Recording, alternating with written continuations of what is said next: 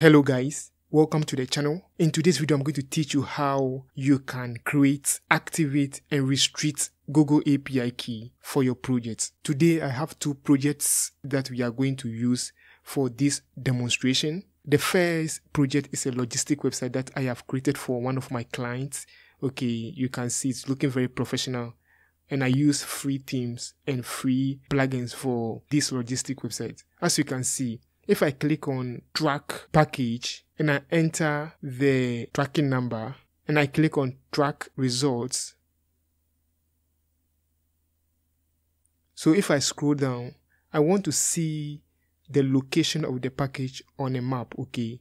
But as you can see, the map is not working because I have not integrated Google API key. Okay. The second project I'm having here is a real estate website. Okay. It's a demo website from House Team. Okay. If I scroll down to the properties and I click on one of the properties, and I want to see the location of this property on a map. So if I click on this map icon, you can see that the map is not working properly because I have not integrated Google API key. So in this video, I'm going to show you how you can do that. If you're new to this channel, please consider subscribing to my channel so that you receive latest videos. Let's get started. So open your favorite browser. Mine is Chrome. Okay. I'm going to open a new tab here and I'm going to type this console.cloud.google.com. I'll put the link in the description of this video. Okay. So I'm going to hit enter. So we are asked to enter our email. Okay, so I'm going to copy my email from here and I'm going to hit on next. So the next thing we are going to do is to enter our password. So let me copy my password from my notepad and I'm going to paste my password here. And I'm going to hit on next. So the next thing I'm going to do is to agree to the terms of this platform. Okay, so click on this and let's check this and click on agree and continue. Make sure you select your country. Okay, I'm from Ghana, so my the Ghana here is correct. So I'm going to click on agree and continue.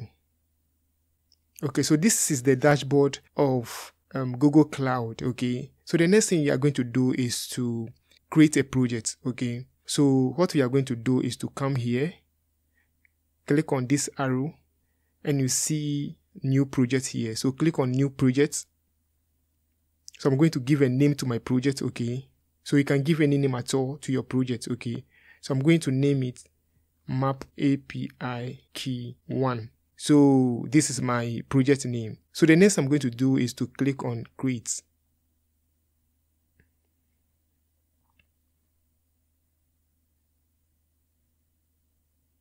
my project has been created successfully as you can see it here. So the next thing I'm going to do is to click on this arrow here and select my project. Okay, so this is my project.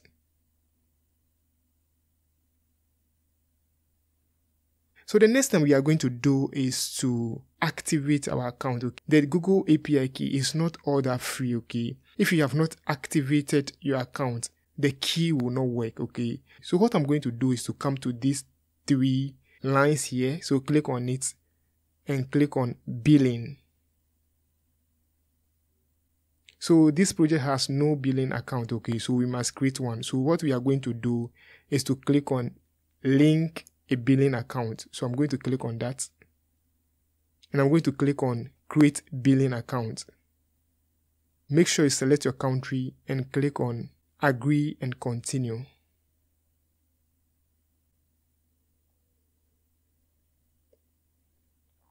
So this is where you enter your billing info, okay? So make sure you fill in this form. So I'm going to change this one to individual and I'm going to enter my address, okay?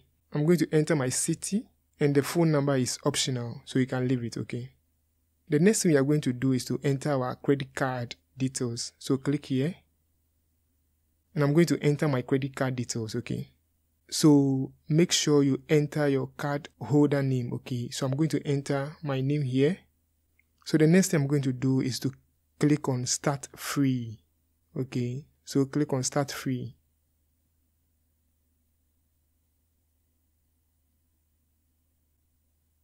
My account has been successfully activated. You can see it here. So follow the process by entering your your credit card information, your billing information. Then you click on start free. Okay. Then you'll be brought here. So you can see my account has been activated. Okay. So what we are going to do now is to go to these three lines here and click on it. Hover on APIs and services and click on library. Scroll down and you see maps, okay? Click on maps. We have about 23 map API, okay? But we are going to enable only six of them, okay? So the first one we are going to enable is called geocoding API, okay? This one. So I'm going to open it in a new tab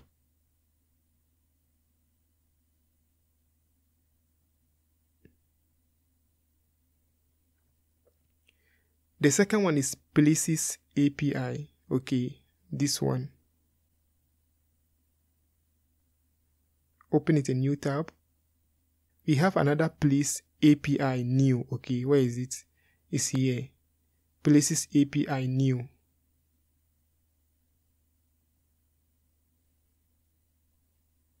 Directions API.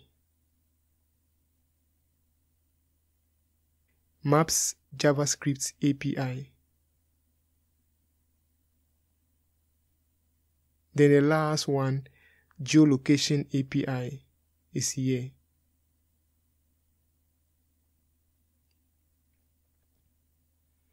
So we are going to enable about six of this map API, okay? So the first one is the geocoding. The second one is place API. The third one is Places API new.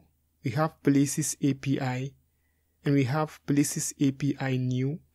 We have Direction API. We have Maps JavaScript API and then the last one geolocation API. They are about six, okay? So let me start to enable them, okay? So let me start from um, geocoding. Let me go and enable it. So click on enable. So let's go and enable Places API. Places API new. Direction API. Maps JavaScript API. And geolocation API. As I, you can see, they are all enabled. So the next thing we are going to do is to go to the three dots again, hover on APIs and services, click on credentials. So we are going to create a new credential, okay? So click on create credentials and click on API key, okay? So this is our API key. So the next thing we are going to do is to restrict the API key. So what I'm going to do is to come here and click on edit API key. So click here. So I'm generating this API key for this website only, okay? So what we are going to do is that I'm going to give a name to this API key. So I'm going to write logistic. So the next I'm going to do is to click on websites, okay? Then I'm going to come down and click on add. So this is where we add the, the domain name. So go to the websites, copy the, the domain name. And I'm going to paste it here. So I'm going to delete the HTTPS, okay, and I'm going to clean this slash too. So the next I'm going to do is to click on done. So you can see that the website is here, okay. So the next I'm going to do is to click on save. Okay, so as you can see, this is the API key we have for this logistic website. So because we have restricted this API key, we can only use it on this website. Okay. So if I want to use um, an API key on the second website, what I'm going to do is that I'm going to create another credentials for this um, website. Okay. So let us test this API key to see if it is really working. Okay. So what I'm going to do is that I'm going to log in to the back end of this website so that I'll add the API key. So let me log into the back end of this website.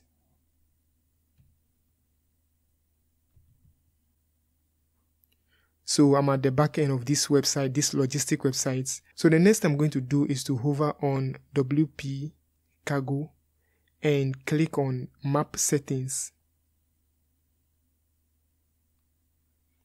So this is where I'm going to paste the API key. Okay. okay. So let us go to the Google Cloud Platform and copy the API key. Okay. So this is for the logistic website. So I'm going to come here, click on show key. And I'm going to copy the key. Okay. Go to the logistic website and paste the key. So the next thing I'm going to do is to click on save map setting. As you can see, our map is working, okay? So now if I go to the front page and I click on track package and I enter my tracking number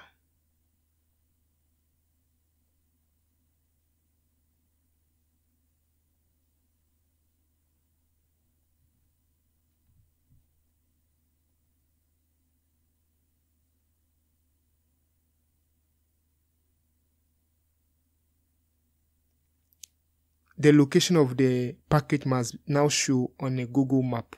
Okay, you can see the package here, and then this is the location of the package. Okay, as I said, this key cannot be used on any other website apart from this because I have restricted the key. So if I copy this key and I send it to this website, it will never work. Okay. So what we are going to do is that I'm going to generate another key for this website. Okay, so let's go to the um, Google Cloud platform.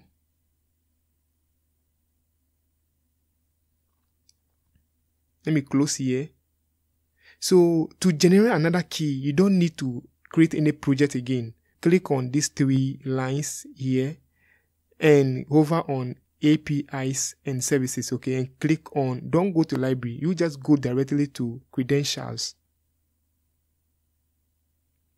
So we are just going to create another credentials, okay? Then click on API keys. What it means is that you only need one project, okay? And under one project, you can generate a lot of um, keys through the credentials, okay? So this way, I don't need to create any project again. I will just go to um, APIs and services and click on create credentials and I'll click on keys, okay? Then I'm here. So the next I'm going to do is to to click on edit API key. You can see that we are still under uh, one project, which is the map API key one. Okay. So this one I'm going to write. So I'm going to write real estate. So I'm going to use it on websites. Click on add. Go to the website. Copy the URL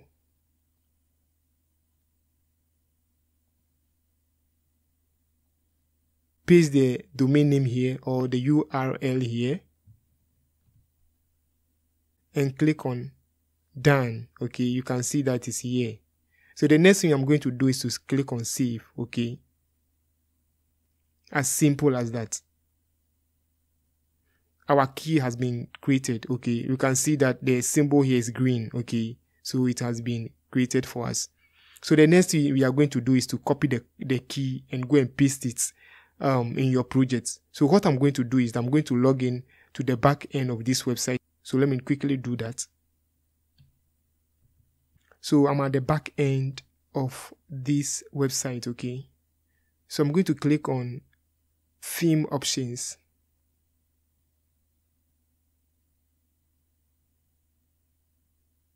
Then I'm going to scroll down and go to map settings. So this is where I'm going to add my API key. So let me delete the old one that is not working.